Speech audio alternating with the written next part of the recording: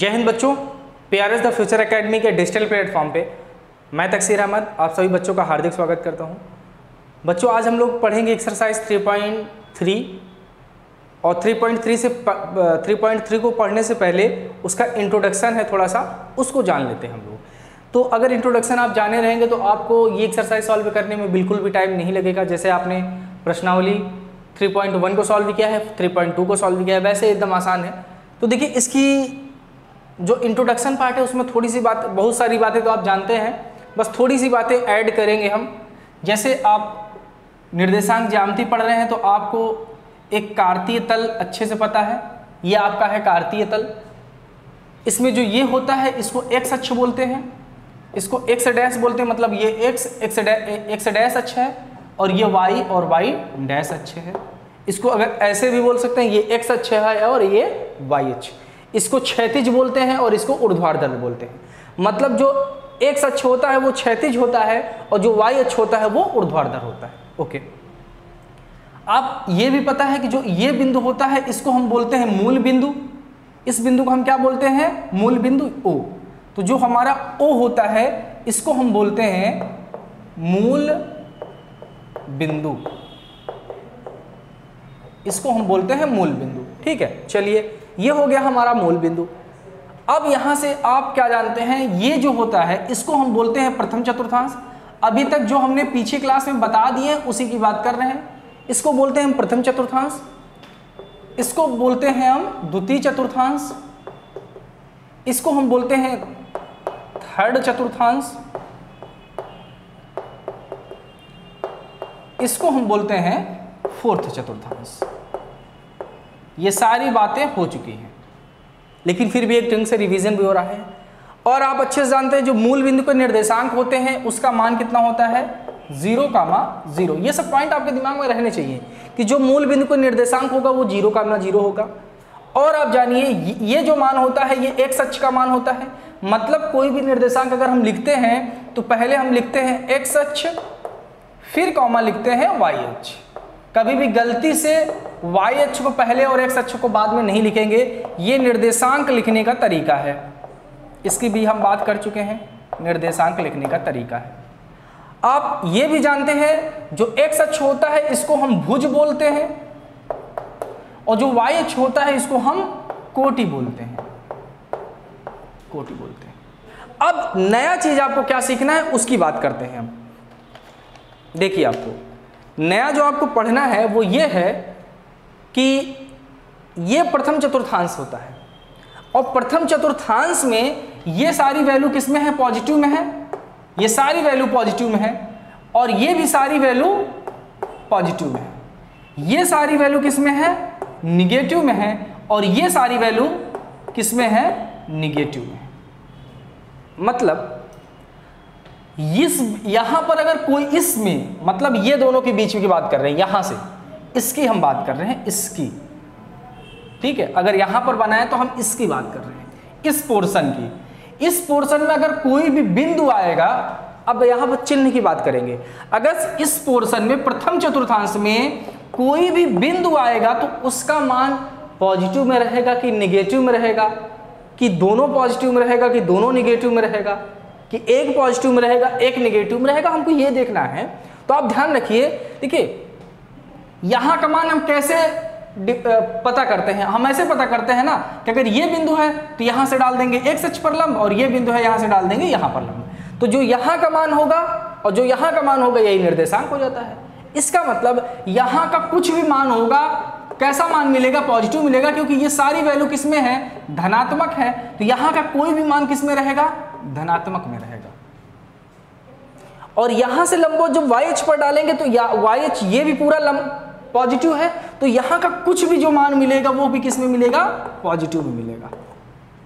इसका मतलब जो प्रथम चतुर्थांश होगा, उसमें एक्स अक्ष का भी मान पॉजिटिव रहेगा और वाई अक्ष का मान भी पॉजिटिव रहेगा। ये आपको सीखना है कि अगर आपको दे दे, केवल इतना दे दे कि प्लस प्लस, या आपको ऐसे क्वेश्चन दे दे, दो कॉमा तीन किस चतुर्थांश को अंगित करता है या किस चतुर्थांश को बताता है?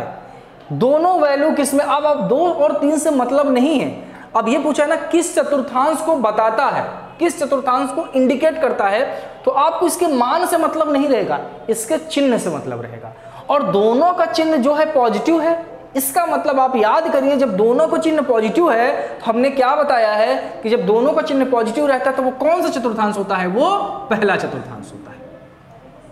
आया समझ में? चलिए, अब दूसरे चतुर्थ चतुर्थांश की बात करते हैं। अब इसकी अगर हम बात करें तो हमेशा जो पहले लिखा जाता है वो एक्स अक्ष का मान लिखा जाता है। तो इस चतुर्थांश की बात करेंगे तो देखिए इस चतुर्थांश का मतलब ये होगा। ये सारे मान तो पॉजिटिव में मिलेंगे, ये सारे मान तो हमको पॉजिटिव में मिलेंगे, लेकिन ये सारे मान किसमें मिलेंगे? हमको निगेटिव में मिलेंगे। इसका मतलब जो ये चतुर्थांश में आएगा, और ये एक सच है, और एक सच पहले लिखा जाता है तो मतलब जो एक सच का मान आएगा वो निगेटिव में आएगा, और जो वाई अक्ष का मान आएगा वो किसमें आएगा? पॉजिटिव आएगा समझ में आया? इसका मतलब जो दूसरा चतुर्थांश है, उसमें एक्स अक्ष का मान निगेटिव में और वाई अक्ष का मान किसमें आएगा? पॉजिटिव में। अब ऐसे क्वेश्चन बन सकता है कि माइनस दो कॉमा फोर किस चतुर्थांश को दर्शाता है? तो भैया, इसमें दो और चार से कोई भी मतलब नहीं आप इसके चिन्ह को देखिए। एक्स अक्ष निगेटिव है और वाई अक्ष पॉजिटिव है। इसका मतलब अगर एक्स अक्ष निगेटिव है और वाई अक्ष पॉजिटिव है तो वो कौन सा चतुर्थांश हो जाएगा? दूसरा चतुर्थांश। रटने की ज़रूरत नहीं है, समझने की ज़रूरत है कि कैसे ये आ रहा है। अब हम बात करते हैं तीसरे चतुर्थांश की। चलिए, तीसरे चतुर्थांश में अगर ध्यान से आप देखेंगे तो जो पहले एक सच का मान लिखा जाता है तो यहाँ पर देखिए, एक सच के जो मान है, वो सारे के सारे मान इस लाइन पे कैसे होंगे? निगेटिव होंगे, ऋणात्मक होंगे। और वाई एच ये होता है तो वाई एच के सारे और सारे के सारे मान ये भी किसमें होंगे? निगेटिव होंगे, ऋणात्मक होंगे। तो इसका मतलब जो तीसरा चतुर्थांश होगा, उसमें एक्स अक्ष का मान भी ऋणात्मक होगा और वाई अक्ष का मान भी ऋणात्मक होगा। तो इसका मतलब जो तीसरा चतुर्थांश होगा, वो माइनस कॉमा माइनस होगा। अब क्वेश्चन बन सकता है आपसे कि माइनस तीन कॉमा माइनस फोर किस चतुर्थांश को बताता है? तो दोनों निगेटिव में है, इसका मतलब तीसरे चतुर्थांश को दिखाएगा। समझ में आ रहा है ना? अब हम बात करते हैं चौथे चतुर्थांश की। अब यहाँ पर ध्यान से देखिए। पहले आप एक सच का मान लेते हो तो यहाँ पर देखिए, इस चतुर्थांश में, ये जो चतुर्थांश है, ये चतुर्थांश इस लाइन और इस लाइन से मिलकर बना है। इस लाइन और इस लाइन से मिलकर बना है तो इसका मतलब ये लाइन सारी की सारी पॉजिटिव होती है, और ये एक्स अक्ष की है तो इसका मतलब एक्स का मान पॉजिटिव आएगा, धनात्मक आएगा। और y का मान ये पूरा का पूरा ऋणात्मक है तो y का मान किसमें होगा? ऋणात्मक होगा तो ये होगा। इसका मतलब जो चतुर्थ चतुर्थांश है, उसका मान किसमें हो जाएगा? पॉजिटिव और ऋणात्मक। मतलब एक्स अक्ष का मान पॉजिटिव, धनात्मक और वाई अक्ष का मान ऋणात्मक होगा। ये बातें आपको क्लियर होगी। अब यहाँ पर एक आप चीज़ समझ सकते हैं। डायरेक्ट अगर थोड़ा कंफ्यूजन हो तो देखिए। अगर x का मान पॉजिटिव है x का मान, देखिए यहाँ भी पॉजिटिव यहाँ भी पॉजिटिव इसका मतलब जो x अक्ष का मान पॉजिटिव होगा, वो इधर होगा. और इधर कौन सा अक्ष होता है? पहला और तीसरा होता है. समझ में आया? तो जैसे ही आपको एक्स एच का मान पॉजिटिव मिल जाए, आप ये समझ जाएँगे कि दूसरा और चौथा, दूसरा और तीसरा तो हो ही नहीं सकता. बचता है पहला और चौथा. और पहला और चौथा में, पहले में दोनों प्लस रहते हैं और चौथे में एक निगेटिव रहता है. तो अगर जैसे ही अगर ये दे दे, जैसे आपको दे दे कि तीन कॉमा माइनस चार का चतुर्थांश बताओ। तो आप देखें एक्स किसमें है? प्लस में है। इसका मतलब ये तो दो हो ही नहीं सकते। दूसरा और तीसरा तो हो ही नहीं सकता। और वाई किसमें है? माइनस में है। इसका मतलब तीसरा नहीं होगा, चौथा नहीं होगा, तब बचेगा कौन? पहला। तो आप ऐसे है, और इसमें अगर ध्यान से देखेंगे तो पहला मान किसमें है? दोनों ऋणात्मक में है। और जब पहला मान दोनों ऋणात्मक में मिल जाएगा, इसका मतलब वो दूसरा और तीसरे चतुर्थांश में होगा, पहले और चतुर्थ में नहीं होगा। समझ में आया? तो ऐसी ही चीज़ें देंगी। अब आपको दे देगा क्वेश्चन में कि माइनस तीन कॉमा चार को, माइनस तीन कॉमा चार को ग्राफ पेपर पर निरूपित करिए या कार्तीय तल में निरूपित करिए तो ध्यान से देखिए। माइनस तीन कॉमा चार। अब चलते हैं अच्छा इंट्रोडक्शन इतना ही थोड़ा करते हैं।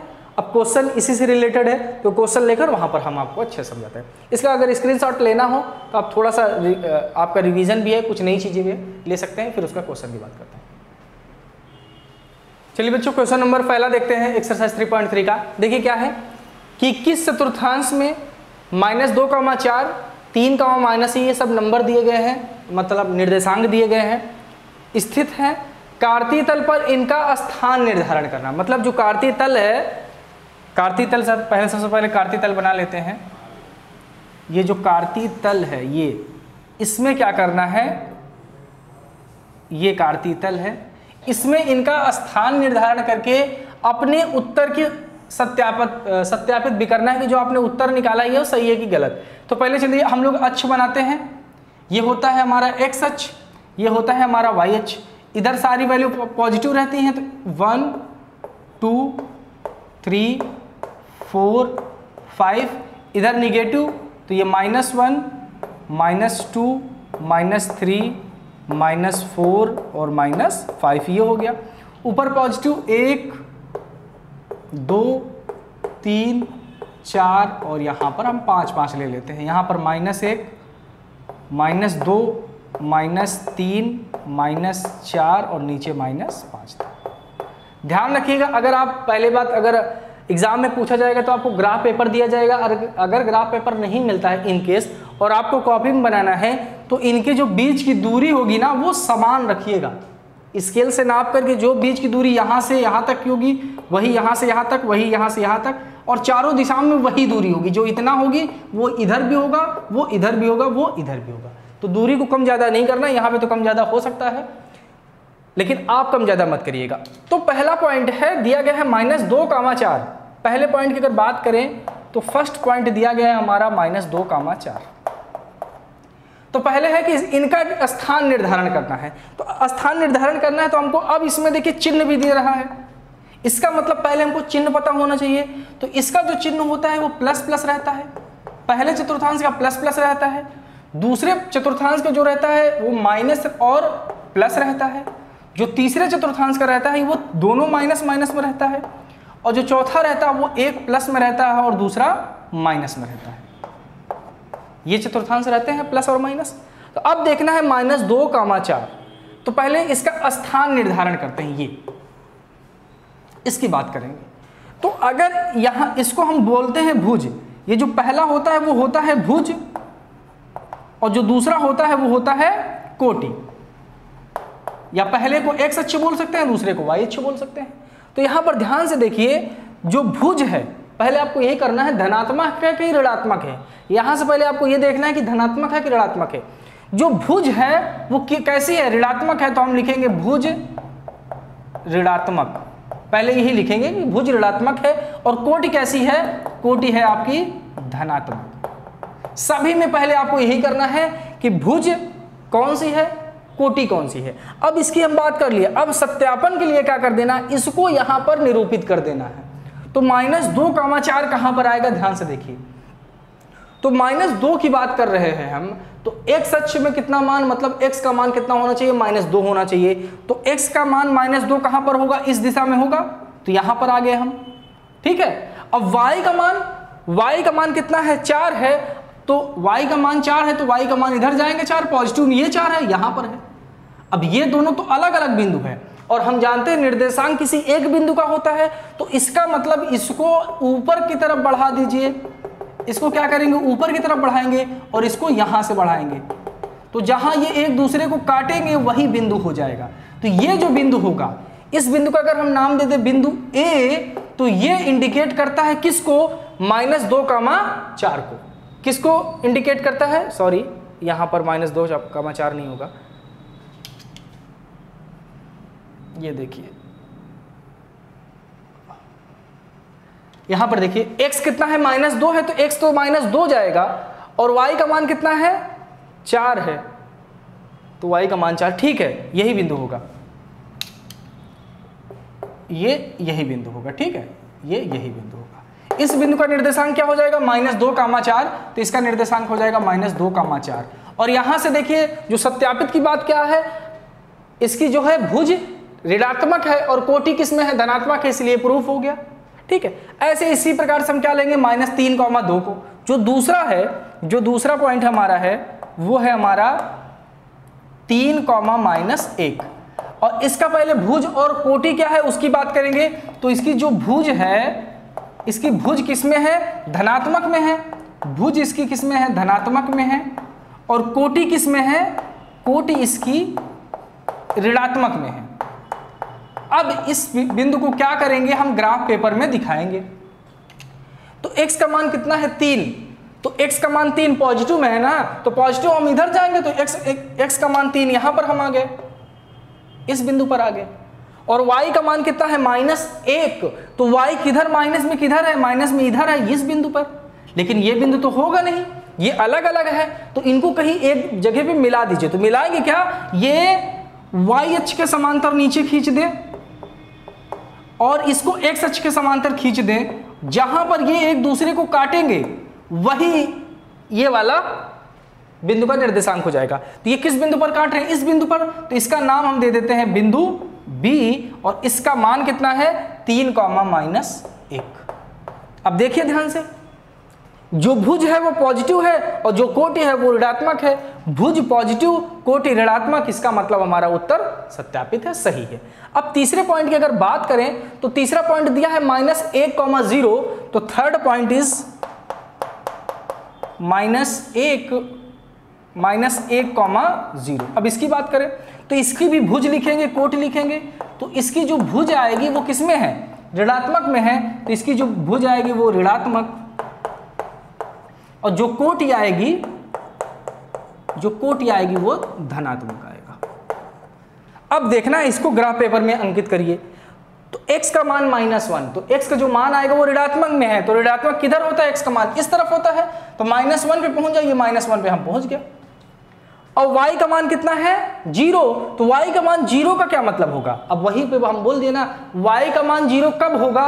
एक सच पर y का मान ज़ीरो होगा। अभी अभी बताए हैं कि जो एक सच पर y का मान कितना होता है? ज़ीरो होता है। इसका मतलब y का मान ज़ीरो है तो y इसी बिंदु पर होगा। Y किस बिंदु पर होगा? इसी बिंदु पर होगा। और जब ऐसी कंडीशन है ना तो इनका मिलन बिंदु के क्या होगा? यही मिलन बिंदु हो जाएगा। तो इसका निर्देशांक क्या हो जाएगा? ये, और इसको हम सी बिंदु मानेंगे। और इस बिंदु का निर्देशांक हो जाएगा माइनस एक कॉमा माइनस एक कॉमा ज़ीरो ठीक है? अब ये देखिए माइनस एक यहाँ पर है और ज़ीरो यहाँ पर है। इसका मतलब ये भी कैसा है? सत्यापित है।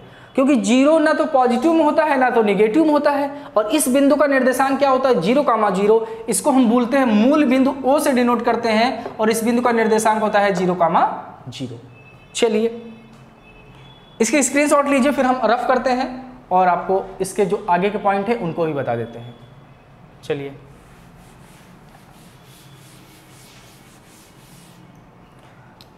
अब अगला पॉइंट है एक कॉमा दो। क्या है एक कॉमा दो? अब इसकी भी भुज लिखेंगे हम। इसकी भुज है एक और कोटि कितनी है? इसकी कोटि है दो। इसका मतलब सॉरी हाँ ये ठीक है, लेकिन हमको धनात्मक में करना था। तो ये भी धनात्मक है और ये भी धनात्मक अब इसको ग्राफ पेपर में तो x का मान कितना है? वन है। तो x पॉजिटिव में है तो पॉजिटिव का मतलब ये वाला। पॉजिटिव का मतलब यहाँ पर आएगा। ठीक है? अब y का मान कितना है? दो है। तो y की तरफ़ दो जाइए और पॉजिटिव में जाएँगे तो पॉजिटिव में जाएँगे तो ये वाला आएगा। अब इन दोनों मिलेंगे कैसे? तो क्या करना है? जो y अक्ष है, उसको x अक्ष के समांतर खींच दीजिए कुछ और x को y अक्ष के समांतर खींचिए तो y अक्ष के समांतर ये खींचेंगे। और दोनों जिस बिंदु पर काटेंगे, वही हो जाएगा इनका मिलन बिंदु। इस बिंदु को मिलन बिंदु बोल देंगे। तो अभी हमने ए बता दिया है बी बता दिया है सी बता दिया है। इस बिंदु का नाम हम दे देते हैं डी और इसका मान आएगा एक कॉमा दो। समझ में आया? लास्ट बात करते हैं माइनस तीन कॉमा पाँच की। देखिए दिया है माइनस तीन कॉमा माइनस पाँच। तो यहाँ पर देखिए भुज ऋणात्मक में है, भुज ऋणात्मक है और कोटि भी किसमें है? कोटि भी हमारी ऋणात्मक है। इसका मतलब दोनों ऋणात्मक है ना? अब इनका मान देखिए, माइनस तीन का माइनस पाँच। मतलब एक्स अक्ष का मान जो होगा, वो माइनस कितना हो जाएगा? माइनस तीन। तो एक्स अक्ष पर माइनस तीन जाइए तो एक्स अक्ष का माइनस इधर होता है तो माइनस तीन आप यहाँ पर आ गए। और वाई एच का माइनस पाँच वाई एच का माइनस पाँच नीचे होता तो यहाँ पर आता है। तो इस बिंदु का जो कोऑर्डिनेट होगा, कौन सा बिंदु होगा तो क्या करिए? एक सच को वाई एच के समांतर कर दीजिए और ये ज़ाहिर सी बात है, ऊपर भी समांतर हो सकता है, लेकिन ऊपर इसलिए नहीं करेंगे क्योंकि ये बिंदु इधर ही आएगा, उधर नहीं जाएगा, ठीक है? तो इसको यहाँ पर ऐसे कर दीजिए। और इसको इस तरफ़ करेंगे तो जहाँ पर एक दूसरे को काटें, यही बिंदु हो जाएगा। तो ए बी सी डी हो गया है, इसके बिंदु का नाम देते हैं ई e और इसका निर्देशांक हो जाएगा माइनस तीन, कॉमा माइनस तो आपको भुज और कोट ही बताना है पॉजिटिव है कि निगेटिव है, फिर इसको क्या कर देना ग्राफ पेपर पर प्लॉट कर देना, आपका आंसर कंप्लीट माना जाएगा। स्क्रीनशॉट लीजिए, फिर इसका एक दूसरा क्वेश्चन है, उसकी बात करते हैं। चलिए बच्चों एक्सरसाइज 3.3 का क्वेश्चन नंबर सेकंड की बात करते हैं, देखिए क्वेश्चन क्या है कि अच्छों पर दूरी का उपयुक्त एकक लेकर नीचे दिए गए बिंदुओं को तल पर आलेखित करना है। आपके पास एक चार्ट दिया गया है, इस चार्ट में एक्स और वाई के मान दिए गए हैं तो इसको क्या कर देना है? कार्तीय तल पर निरूपित कर देना है। तल का मतलब है कार्तीय तल पर निरूपित करना है। तो सबसे पहले आप क्या करिए? कार्तीय तल बना लीजिए। तो आप देखिए, ये कार्तीय तल हम बनाते हैं। थोड़ा सा हमको बड़ा बनाना है। इसलिए थोड़ा सा इधर से देखिए। ये लाइन वाई एच है। ये आपकी हो जाएगी एक्स एच ठीक है? इसकी नेमिंग कर लेते हैं। ये होता है ज़ीरो। मूल बिंदु होता है जिसको ज़ीरो कामा ज़ीरो हम बोलते हैं। ये होता है हमारा एक्स एच ये होता है हमारा वाई एच इस तरफ़ जाने पर पॉजिटिव नंबर आते हैं। One two three four five six ऊपर जाने पर भी पॉजिटिव नंबर आते हैं। One two three four five six नीचे आने पर negative minus one minus two minus three minus four minus five minus six इस तरफ़ आने पे negative minus one minus two minus three minus four minus five minus six और minus seven, ऐसे निरूपित कर लीजिए। अब आपको क्या कर देना है? यहाँ से एक एक लेना है। एक एक का मतलब होता है, एक मान इसका लेना है, एक मान इसका मतलब एक कोऑर्डिनेट बनाना है, निर्देशांक बनाना है। और निर्देशांक में क्या क्या क्या क्या शामिल रहता है? एक्स अक्ष का मान शामिल होता है और वाई अक्ष का मान शामिल होता है। तो यहाँ पर जो पहला कोऑर्डिनेट लेंगे एक्स अक्ष का मान कितना लेंगे? माइनस दो और वाई अक्ष का मान कितना लेंगे? आठ लेंगे। लेंगे कि नहीं? एक्स अक्ष का मान माइनस दो तो वाई अक्ष का मान आठ। फिर दूसरे में क्या लेंगे? एक्स अक्ष का मान कितना लेंगे? माइनस एक लेंगे, और वाई अक्ष का मान कितना लेंगे? सात लेंगे, ये दोनों के साथ में। तीसरा इन दोनों को साथ में लेंगे तो एक्स अक्ष का मान ज़ीरो हो जाएगा, और वाई एच का मान माइनस एक दशमलव दो पाँच। इससे डरना नहीं है, डर मत जाना कि दशमलव दे, में दे दिया तो उसको कैसे करेंगे। बहुत आसान है कर लेंगे। इसका एक है और इसका तीन है। यहाँ से तीन और माइनस एक को साथ मिलेंगे, तीन और माइनस एक को। तो इतने बिंदुओं को हमको ग्राफ पेपर में प्लॉट करना है। तो ध्यान से देखिए क्या करेंगे, कैसे करेंगे। पहला दिया है माइनस दो का मान आठ। इसका मतलब एक्स का मान कितना होगा? माइनस में होगा और माइनस दो होगा। तो एक्स माइनस दो इस तरफ़ होता है तो माइनस दो यहाँ पर पहुँच गए। और वाई का मान कितना है? आठ है। वाई का मान कितना है? आठ है। तो वाई का मान आठ आठ इधर जाना तो यहाँ हम छह ही तक बनाए हैं। तो दो तक हमको और बनाना है तो दो तक हम और बना लें। यहाँ पे सात कर लेते हैं और यहाँ पर आठ कर लेते हैं। कर लिया? एक्स अक्ष का मान माइनस दो मिल गया है, वाई अक्ष का मान कितना मिल गया है? आठ मिल गया यहाँ पर। अब इन दोनों का मिलन बिंदु कैसे होगा? इसको जो है आठ, वाई एच को एक्स अक्ष के पैरल ड्रॉ कर दीजिए। तो ड्रॉ करेंगे तो आपका ऐसे जाएगा। और इसको वाई एच के पैरल ड्रॉ करेंगे तो ये ऐसे जाएगा। ठीक है? तो इनका जो मिलन बिंदु है, वो ये बिंदु हो जाएगा। इसी बिंदु का मतलब इस बिंदु का नाम हम अगर दे दें, इस बिंदु का नाम हम दे दें ए क्या दे दें? ए तो इसका निर्देशांक जो हो जाएगा, वो क्या हो जाएगा? माइनस दो कामा आठ। ठीक है? तल पर आलेखित करना था, तल पर हमने आलेखित कर दिया। दूसरा है माइनस एक कामा सात। तो इसका भी मतलब एक सच पर माइनस एक। तो एक सच पर माइनस एक यहाँ पर है, और वाई एच पर कितना है? सात है। तो वाई एच पर कितना है? सात है इस बिंदु पर। अब इन दोनों का मिलन बिंदु मतलब इसको इस तरफ़ इस तरफ़ करना है और इसको ऊपर करना है। तो ले जाइए कहाँ पर ये मिलेगा? इस बिंदु पर मिल रहे हैं। इस बिंदु पर मिल रहे हैं तो इस बिंदु का जो निर्देशांक हो जाएगा, इसको हम बोल देंगे बी बिंदु, इसको हम बोलेंगे बी बिंदु और जो इसका निर्देशांक हो जाएगा वो माइनस एक कामा सात होगा। समझ में आ गया? चलिए अब तीसरे बिंदु को लेते हैं। तीसरा बिंदु ध्यान से, दो कामा, ज़ीरो कामा माइनस एक दशमलव दो पाँच। तो एक सच का मान ज़ीरो है। इसका मतलब एक सच का मान कितना है? ज़ीरो। तो ये यहीं पर रहेगा। और वाई एच का मान कितना है? ध्यान से। वाई एच का मान माइनस एक दशमलव दो पाँच है। तो वाई एच का मान माइनस इधर में आता है। इधर में ध्यान से देखिए। एक यहाँ पर आप पाएँगे एक यहाँ पर आएँगे। ग्राफ पेपर रहेगा ना तो वहाँ पे छोटी छोटी लाइनें खींची रहती हैं। छोटी छोटी लाइनें खींची रहती हैं। तो एक बटे दो क्या बता पच्चीस टू पॉइंट दशमलव दो, दशम, दो पाँच क्या बताता है? एक बटे चार को बताता है। एक बटे चार को बताता है। इसका मतलब ये जो छोटी छोटी लाइनें, चार लाइनें खींची होगी, उसमें देखिए एक यहाँ खींची रहती है, एक यहाँ दो, तीन, चार, और पांचवी लाइन ये रहती है। तो इसका मतलब ये है कि एक दशमलव पाँच का मतलब ये वाली लाइन होगी, पहली वाली लाइन।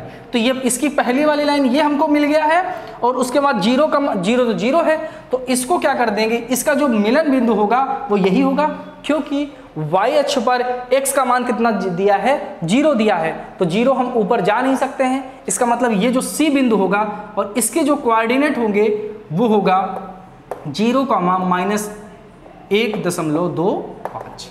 ठीक है? आगे बात करते हैं। आगे दिया है क्या है? एक कौमा तीन।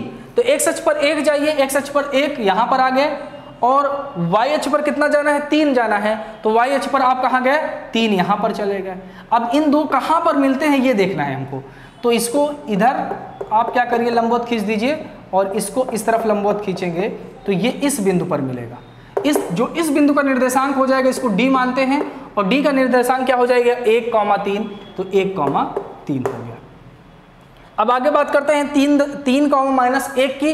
तो x का मान कितना है? तीन है तो x अक्ष पर जाइए तीन। x अक्ष पर तीन यहाँ पर है। और y अक्ष पर कितना है? माइनस एक।